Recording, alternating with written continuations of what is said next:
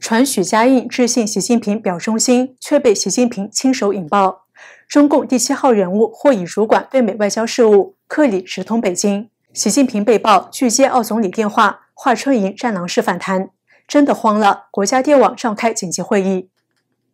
观众朋友们，大家好，今天是美西时间九月二十八日，欢迎收看第二期的《万维读报》，我是 Jennifer。旅澳中国法学界作家袁宏斌最近在网络上透露，北京官场目前广泛流传一个说法：银行及其他金融机构对恒大断贷都是习近平的命令，是习近平亲手切断了恒大的资金链。习近平不仅不会出手拯救恒大集团，甚至可能主动点燃了恒大暴雷的导火索。许家印还曾经求见习近平，但被拒绝。万般无奈之下，许家印写了一封信，辗转送到习近平的手中。袁宏斌分析，习近平点燃恒大暴雷导火索的两个原因：首先是为实现在二十大上连任，因此习近平需要提前打击权力斗争中的对手，也即恒大背后的曾庆红及温家宝家族，当中又以曾庆红为主。袁宏斌透露，曾庆红不久前在中共官场私下散布对习近平经济思想的十二字评语：邪门歪道、愚蠢绝伦、害党误国。显然是要在二十大前在政治经济领域给习近平制造麻烦。而习近平选中恒大来打击曾家，也是有的放矢。袁宏斌从北京消息人士获悉，恒大出现危机后，许家印曾经求见习近平，但被拒绝。万般无奈之下，许家印写了一封信，辗转送到习近平的手中。任洪斌说，信件的内容在传送过程中就被泄露出来。据说在信里，许家印主要向习近平说明，他当年之所以和曾庆红胞弟曾庆怀与温家宝夫人张培丽走得很近，原因是当时曾庆红是中共国家主席，温家宝是中共总理，他们的职位说明他们是代表了共产党的。我跟他们走得近，就是跟共产党亲。但现在习近平成了共党的领袖，许家印当然要改换门庭。他奢望通过这样一番投名状式的表白，习近平能拉他一把。习近平打击恒大也有第二个原因。袁宏斌认为，这是习近平全面回归毛时代的重要一步。正如对海航的处理一样，当局将民营企业逼上破产的边缘，于是民企不得不交出股权，任由所谓的国家来接收。习近平通过这套程序，强迫民营企业国有化。至于恒大暴雷可能会引发中国金融风暴，习近平完全清楚。袁宏斌分析指，恒大刺激下，大量民营企业会陷入濒临倒闭的困境，然后不得不把权转让给国家，这反而让习近平能够掌握更多的原属民营企业的资产，对习近平来说反而是一个利好，所以他并不担心恒大引发的骨牌效应。习近平也不会承担经济上的灾难性后果，相关重大经济损失是要由几百万中国式的经济难民来承担的。华尔街向来与中国有深入连结，在美国总统气候问题特使克里二度访中之前，中美金融圆桌会议联席主席高盛集团前总裁桑顿不顾白宫反对，曾先访中六周。这次访问被与1971年基辛格秘密访华相提并论。桑顿此行到访新疆，还与国务院副总理韩正讨论中美关系、气候变化等议题。而近期迹象显示，韩正似成为中共国家主席习近平之下负责对美外交最高官员。《明报》分析，桑顿访中有两点资讯值得关注：一是桑顿与韩正讨论不限于气候议题，包括新疆等中美关系的广泛问题，这显示中共政治局七号常委韩正似乎成为习近平之下北京负责对美外交的最高官员。而克里两度访华，视讯会见的中方最高官员也是韩正，似乎印证了这一点。二是桑顿告诉韩正，他认为克里不仅是美国在气候谈判方面的指路人，而且是美中关系的总负责人。此谈话若真，则意味拜登政府将绕过国务卿布林肯和亚洲事务主管坎贝尔，有直通北京的管道。值得注意的是，桑顿的中国行多个行程都曾见诸官方与相关机构公开，如中共生态环境部发布，八月二十三日，生态环境部部长黄润秋在京会见美国布鲁金斯学会名誉主席桑顿。隔天，他到访北京清华大学，与校长邱勇会晤。八月二十八日，又在北京与曾有国师之称的国家创新与发展战略研究会会长郑必坚会面。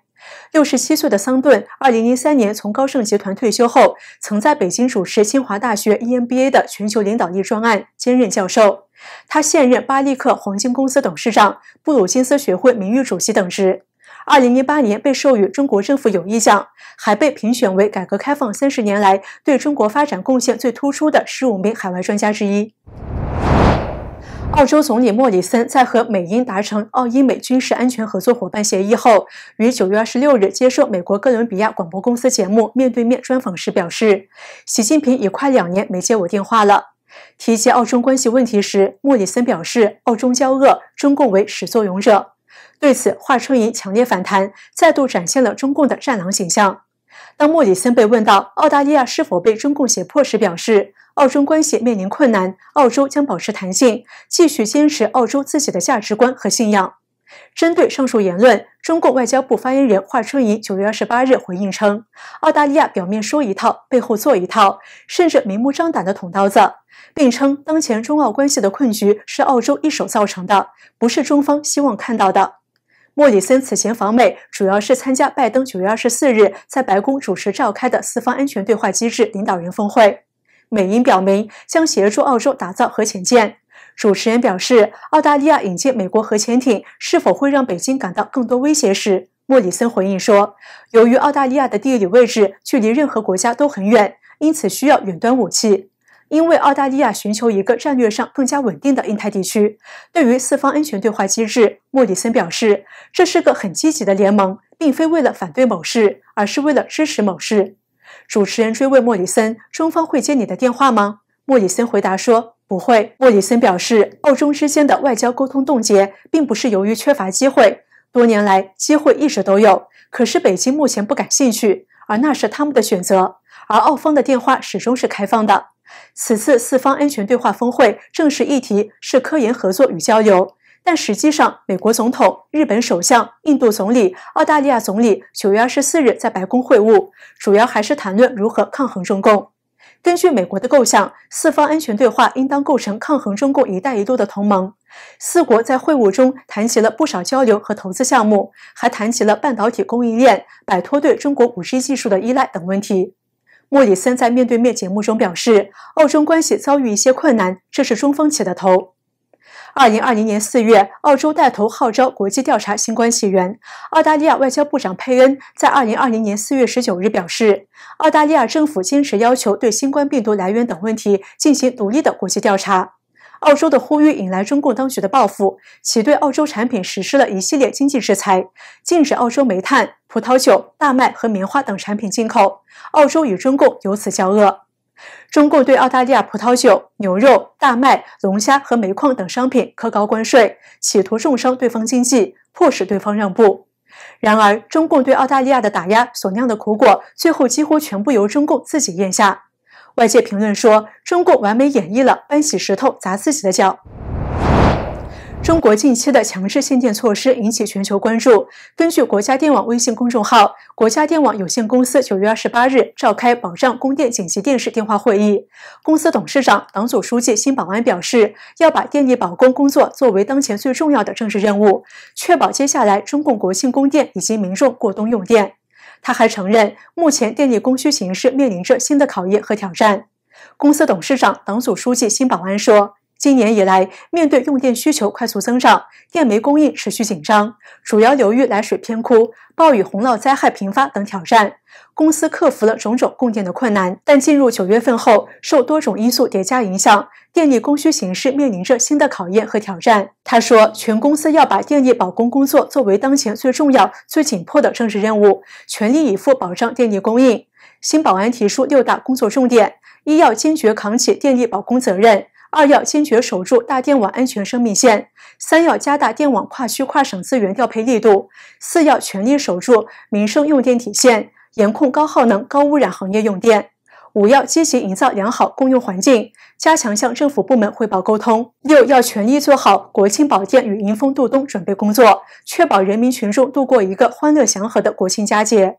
日前，东北地区对民生用电限电，国网东北分部、山东电力、辽宁电力也在这次会议做电力保供专题发言。九月以来，中国南北多地拉闸限电，中国电力短缺扩大，迫使一些工厂停工，当中包括苹果和特斯拉供应商。野村证券首席中国经济学家陆挺认为，这场冲击波可能会蔓延并影响全球市场，全球都将感受到纺织品、玩具、机械零组件的供应收紧。